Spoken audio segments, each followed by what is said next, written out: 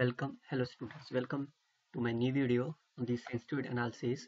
Now this video in this video we are talking about the new type that is the type fourth when the new constraint is added into the given LPP then what is the impact of their optimal solutions so myself Harish Garg so far we have discussed the first three types of their LPP what is the impact on the optimal solution when we add a new constraint into the given LPP.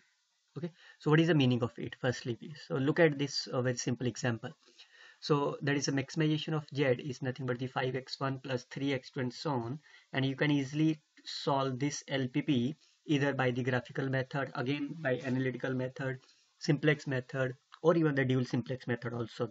Okay, and then you can easily so find this optimal solution so i think all of you can up to here all of you can easily solve it. Now uh, the task of this video is to uh, discuss the impact of the optimal solution by adding a new constraint that is one at a time. Not all the constraints you can add all the constraints but i just discuss about one by one one at a time. So what will happen if i just add the first constraints to this given lpp it means the new constraints are this is my first constraint. Okay. This is my second constraint. Now if I just consider first part and now this is my third constraint. Okay. And xi's are greater than 0 and my objective function is maximization of z is 5x1 plus 3x2 now can the optimal solution of this new LPP is still x1 is 20 by 19 x2 is 45 by 19 and z is remain same. Is it so? Okay. So if it is not then what will be the new optimal solution? That's the first question. Okay. Second is under what conditions this optimal solution of the LPP will remain the optimal solution of this new formulated LPP okay. So that's the basic task of this video and this lecture is there so uh, I just continue this example, discuss the impact of the optimal solutions by adding the new constraints one at a time. So that is what will happen when you add these constraints to the given LPP. Then the optimal solution remains same or change. What will happen when you add this and third when you add this. Okay. So uh, uh, uh, look at that. You can easily solve with the help of the graphical methods and you will get easily the optimal solution after the two steps. So now, so the optimal solution of the LPP becomes this one. Okay, from this previous case, we see that. So I just consider the three cases, one, two, and three, or you can also consider the fourth case also, say any one of them, say uh, 2x1 plus x2 is greater than equal to 4 and so on arbitrary you can take it anyone so first one i just consider one by one so consider the effect of the optimal solution uh, adding a constant to the optimal solution so when you consider this constraints, so substitute the value of the optimal solution. Remember always the optimal solution. So consider substitute the value of this x1 and this x2 in this constraints and check whether this satisfied or not. Okay. So what is that? Look at that. This is 40 by 19 minus 45 by 19 is less than equal 4. That's true. Okay. Because this is minus 9 by 14 and this is 2 okay so what will happen is this is true. Okay this is true. So it means optimal solution remains same. This is the answer of my second question firstly. Okay uh, my my two question is under what conditions the original optimal solution will the optimal solution of the new formulated problem? And the second question is if it is not if the constraint if under what condition the optimal solution remains same and under what condition the optimal solution changes.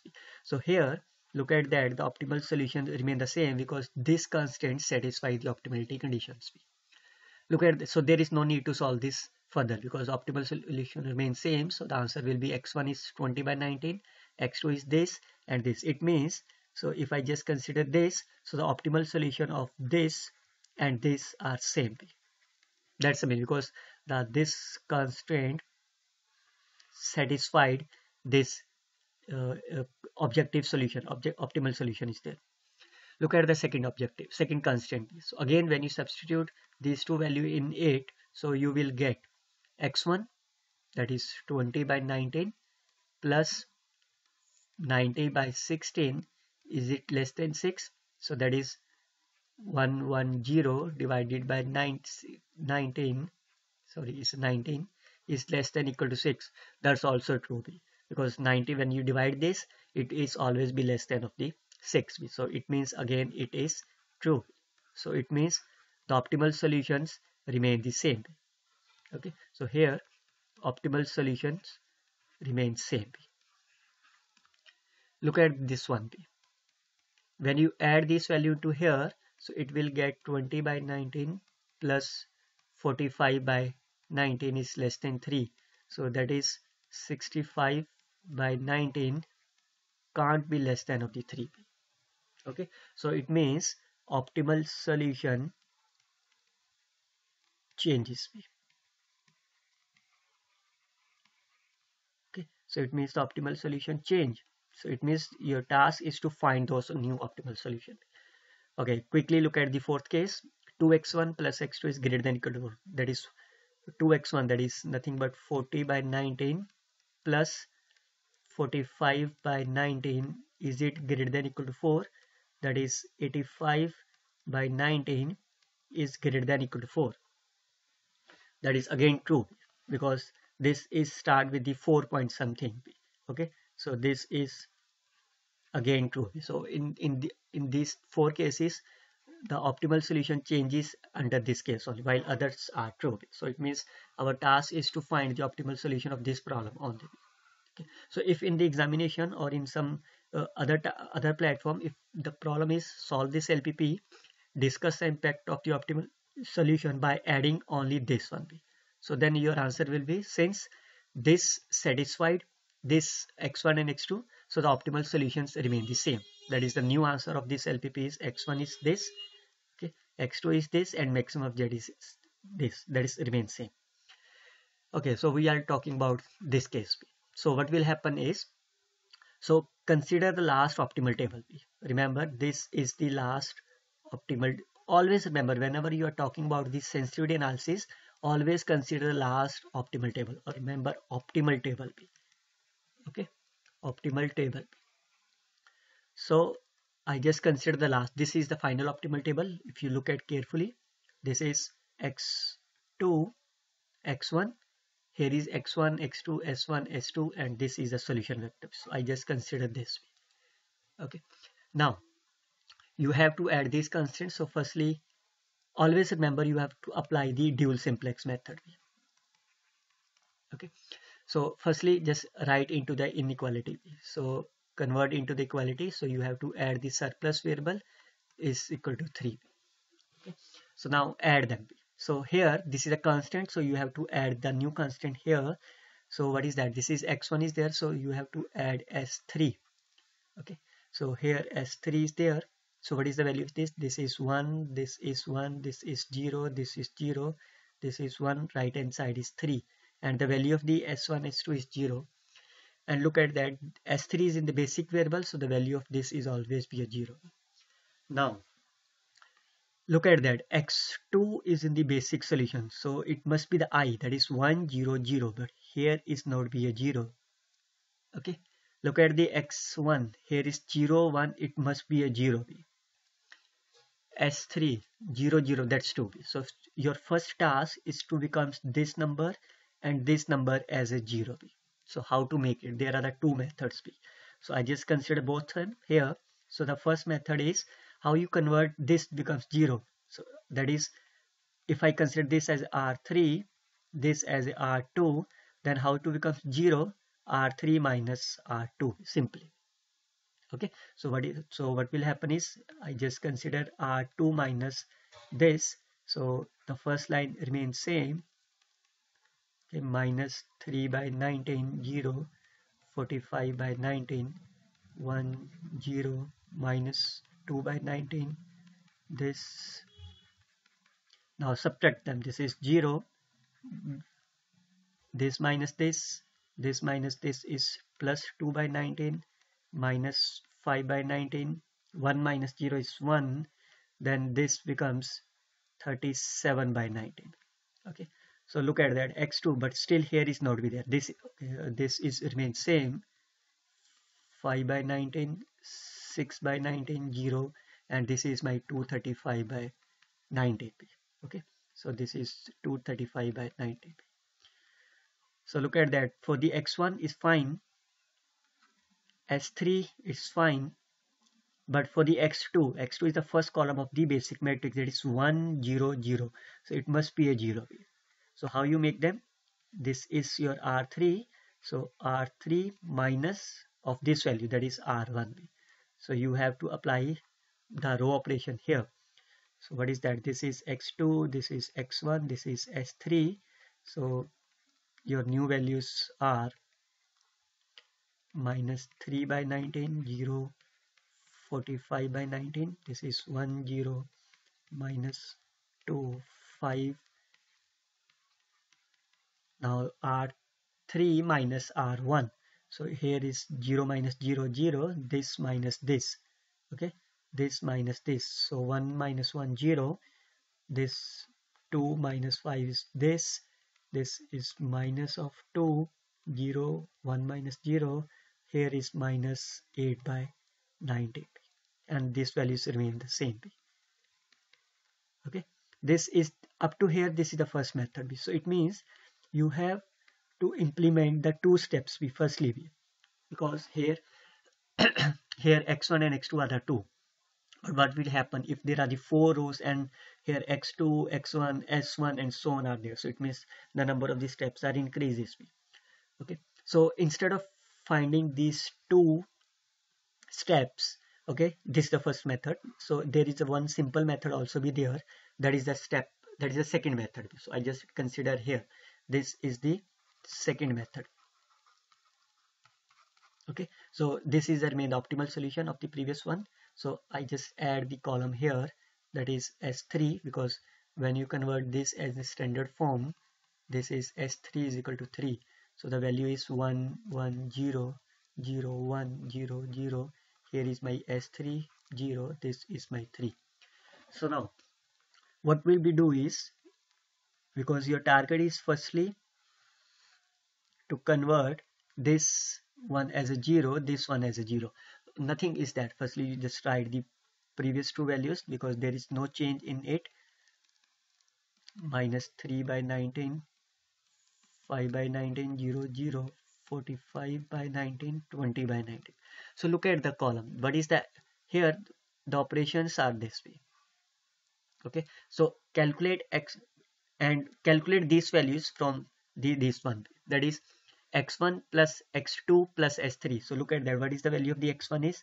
1 in this first column that is x1 here is 1 plus x2 here is 0 okay? And there is no s3 so that is a value is 0 so it means you firstly calculate x1 plus x2 that is 0 plus 1 is 1 this 1 3 by 19 2 by 19 0 65 by 90 and then subtract from this value okay? Meaning is x1 plus x2 that is 1 that is this.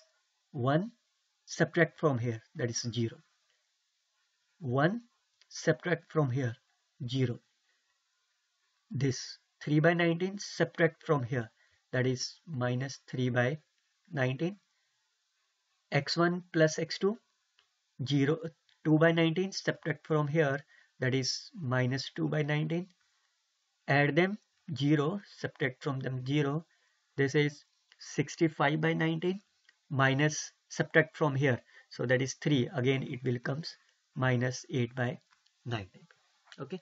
So for, for more example, if I say the constants are this, say x1, 2x1 minus x2 is say less than 0 for example, okay. They are less than equal to say, uh, say 1. So what will we do is you have to calculate 2x1 minus x2 from here. You calculate 2x1 minus x2. So what is that? 2x1 minus x2 that is a 2 subtract from here. 2x1 minus x2 that is 2x1 minus x2 that is minus 1 subtract from here and and then so on and look at that these values remain the same as that of the this last value.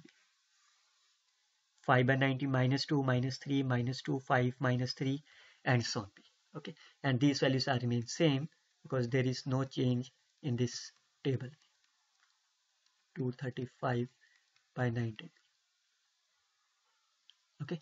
Now right hand side is negative so it means uh, it is infeasible but the optimality is there. So it means you have to apply the dual simplex. Always remember whenever you are talking about the sensitivity analysis always apply the dual simplex. So you have to find firstly the leaving variable and then find the entering variable. So take those negative values and find the minimum ratio among them. So what is that? This is the 5 by 3 this is 6 by 2 that is a 8 this is 1.5 so this is my minimum one okay so what is that?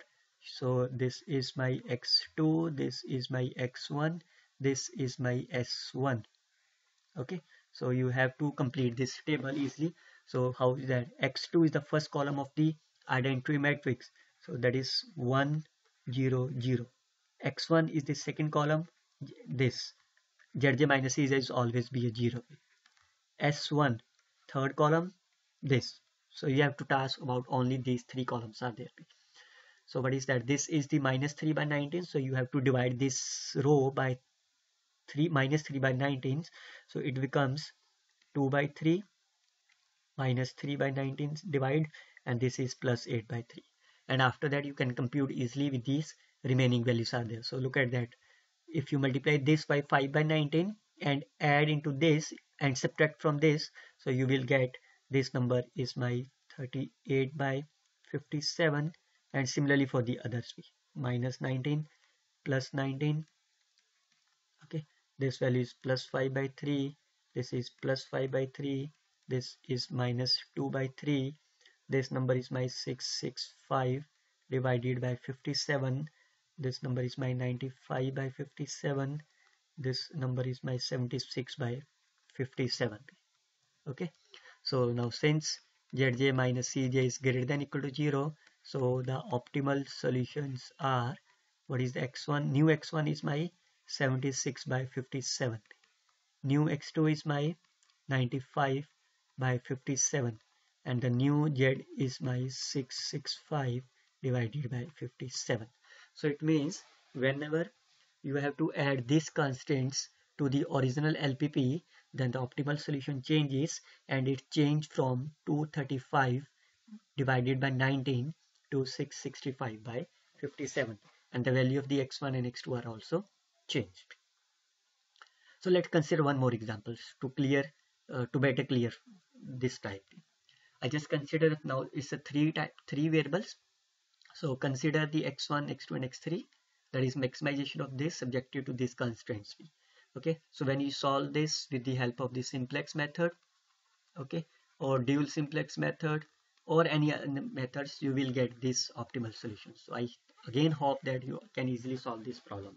So look at that x1 is 0 x2 is 100 x3 is 220 okay for those students who are unable to compute this so uh, you can see the solution in this here so these are the x1 x2 and so on this firstly this is the entering variable this is the minimum ratio and so on so you can easily calculate them so now my task is discuss the effect of adding these two new constants one by one. That is adding first constant and then after that uh, what will the impact of adding the second constant to the given LPP.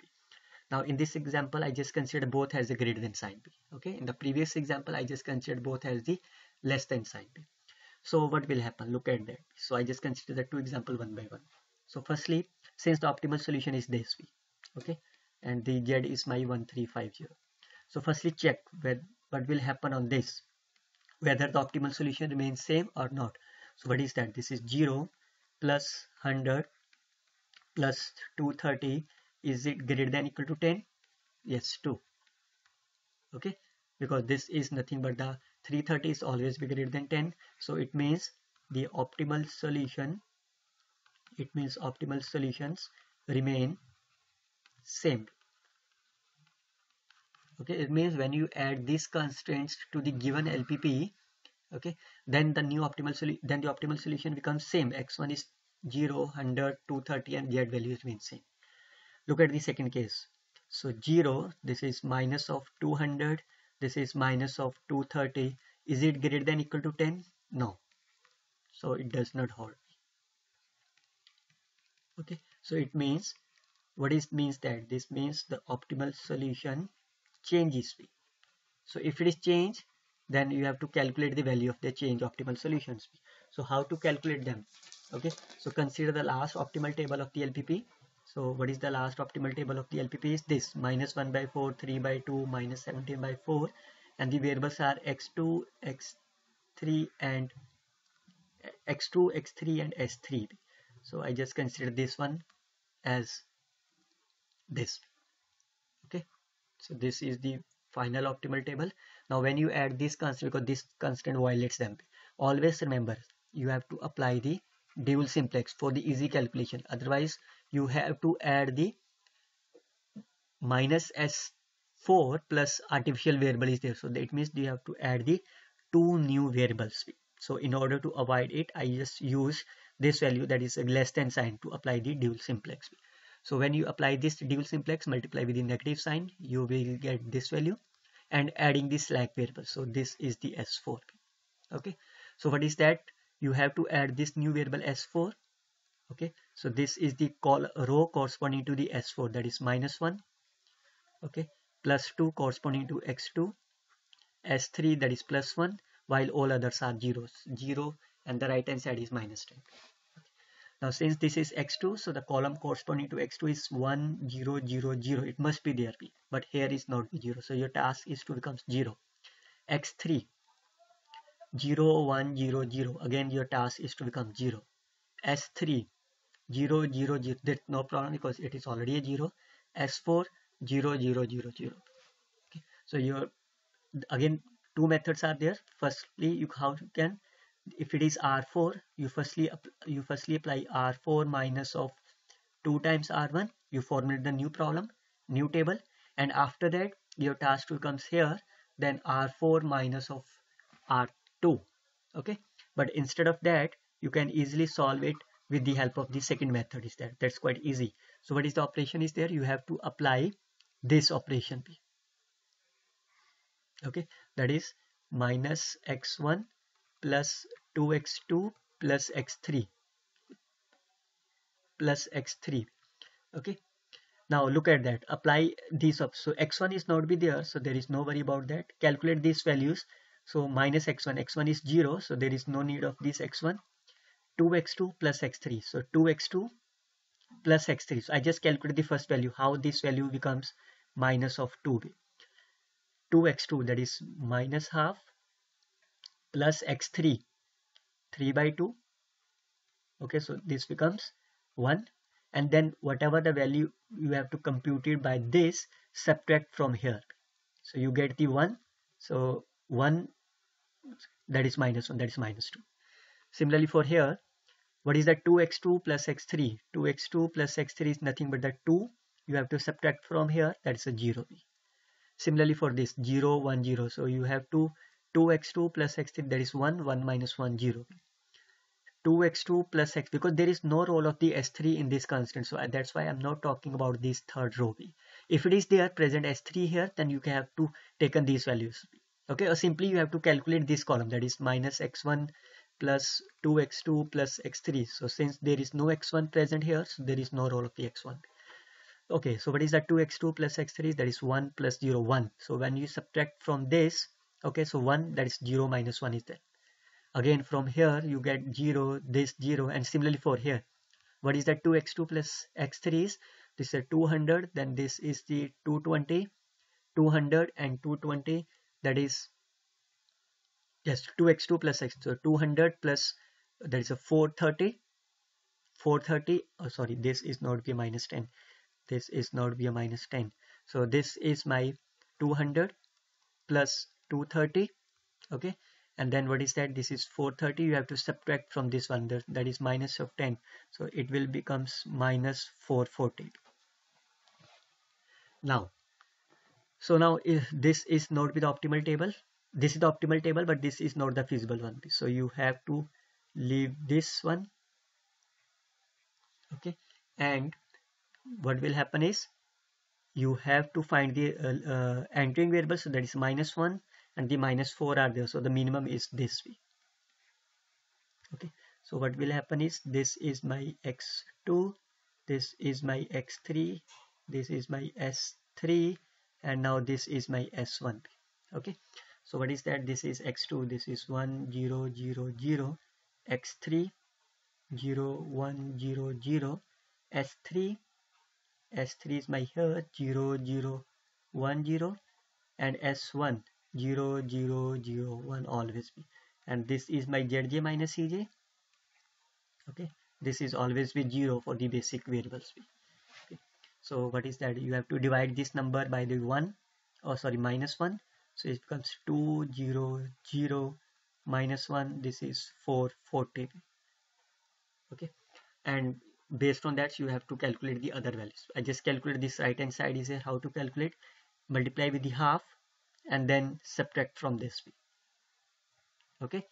Multiply with the half and subtract from this then you will get this respective values.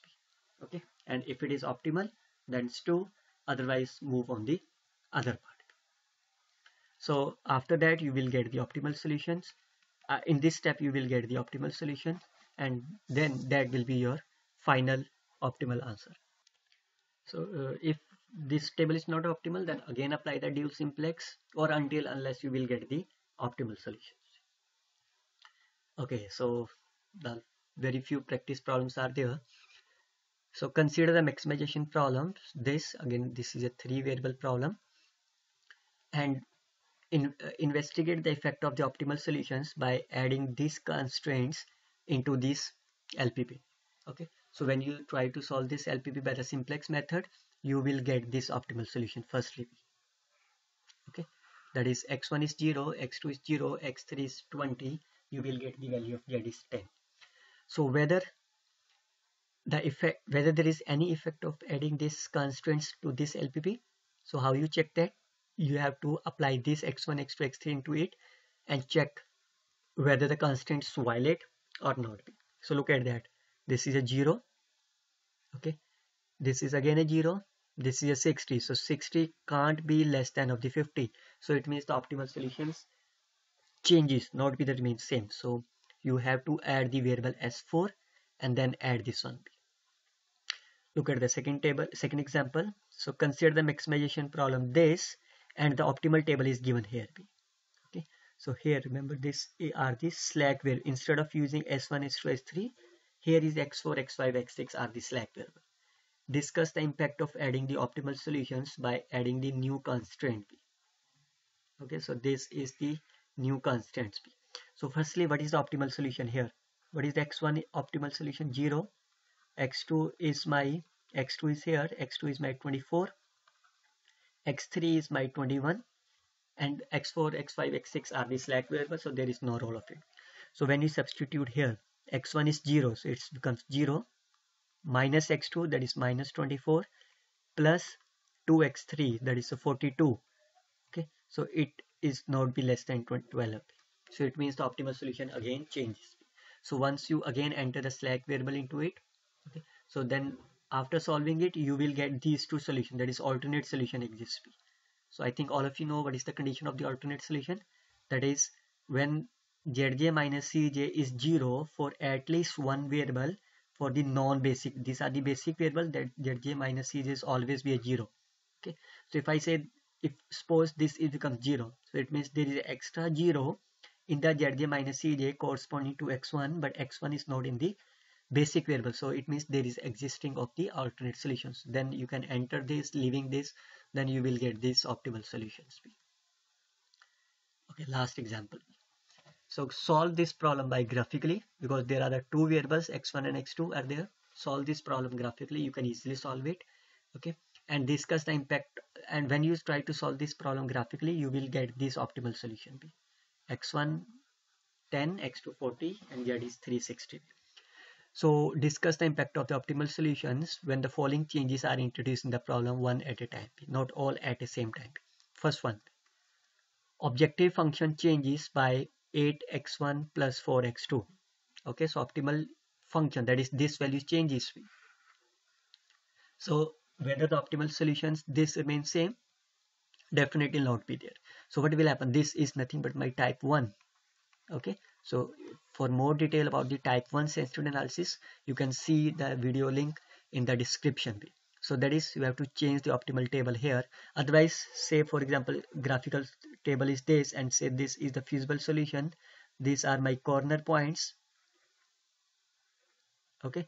And you have to relook uh, recalculate the values of the z for these objective functions at these corner points. One that is a b c d and then find the optimal solution. And then you will get these optimal values. Otherwise if you try to solve this by using the simplex method okay so your simplex method will be look like uh, what is that? Once you cal calculate the objective values okay this is x1 this is x2 and then so on. So what is that? You have to consider the new objective function what is that? This is 8x1 plus 4x2b okay. 8x1 plus 4x2b so this is my 8 this is my 4 here whatever is there x1 x2 or x2 x1 okay. So 8 for then calculate this zj minus cj. Again that is multiply this. This is the optimal final optimal table. Okay. And calculate these values. If all are positive then the optimal solution remains same. Otherwise if not then you can enter them leaving them and find their values okay second type second part. Right hand side of the second constants changes by change to the 80 that is right hand side of the second constant this value. It means it replaced to the 80 that is this is my type 2 okay? Again that uh, link of their video is given in the description. You can see that. I just recall that how how to solve this uh, right hand side is i think all of you remember that you have to need to calculate b inverse. Okay? So and when you change the right hand side is 20 so the new vector is 20 80 0 0 okay? So that is the new vector is 20 80 0 0 okay? So multiply this b inverse with this value 20 80 0 0 and calculate it. B if all are positive then optimal solution remains same. If at least one of them is less than 0 then optimal disturbs feasibility disturbs because it's a negative. So apply the dual simplex method and then find their optimal solutions. So when you try to solve it graphically so instead of the simplex method so how to do this second part is just remove the constraints in the graphically corresponding to this and redraw it with the help of 2x1 plus x2 is less than equal to 80 okay? Means here if say these are the uh, four constants and say for example this constant is corresponding to this one b. Okay? And now the new problem is you have to replace this by 80 so what will you do is you have to delete this constraint. Okay? And then redraw it with the help of this. Now this becomes 80 and then try to find the uh, corner points again and solve it.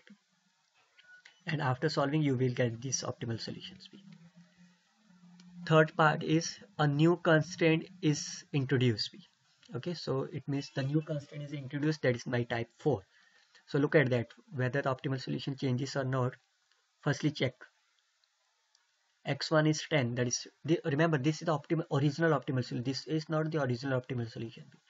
So that is a 20 plus x2 is my 40 is 10 so it means this is hold. This is 2 so it means the optimal solution remain the same. So it means there is no change in the optimal solution. So it means the answer of this third problem is remain the same.